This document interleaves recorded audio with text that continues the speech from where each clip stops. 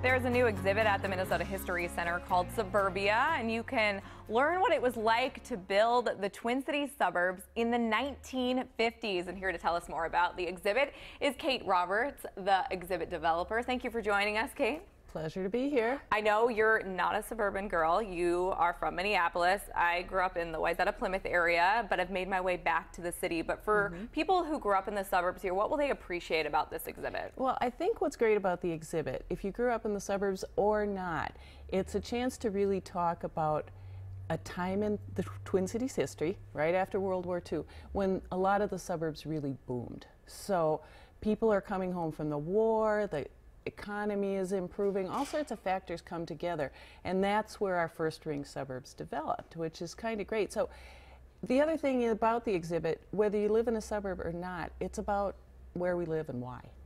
Now, we're just seeing a little bit of video of the exhibit, but yeah. uh, in terms of what people will see when they walk in the door, what are some eye-catching artifacts that people can see? Well, when you come in, the first thing you'll see is a house under construction, which is really fun. And then you move through and you see a finished house, and you're standing in a living room, in a kitchen, there's a small nursery, there's that little backyard that we all think of with the suburbs. Go a little further, you see a section on Southdale, the first fully enclosed mall.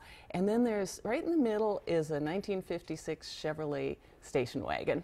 And that's pretty iconic when you think about the suburbs and transportation and think of it as sort of the predecessor to the minivan today. And you mentioned Southdale, it's one of the oldest malls in the country, which yes. speaks really to the Twin Cities suburbs itself. But why did you feel like this story was so important to tell? Well, I think because we all know about the suburbs you know, sort of love them or hate them. We talk about them, they're a part of the culture. And we really wanted to go back and talk about when in the Twin Cities did things really get started here? And like I said, then talk about why do we choose where we live? Where, what choices do we make? Do we always have choices about where we live? So we really want to get people talking about home, really, and where they live and why. There's even a play going on called The Realish Housewives of Edina right now in Minneapolis. But what is something that people will learn, maybe, or what's a fact you can tell us about that people will learn if they come out to the exhibit? Well, you know, you mentioned Southdale, and I think that's really interesting. A lot of people may not know that Southdale is groundbreaking. It's been called one of the 10 buildings that changed American history first climate controlled, fully enclosed mall in the U.S. that was meant to be part of a community of Edina that is sort of like a town square almost.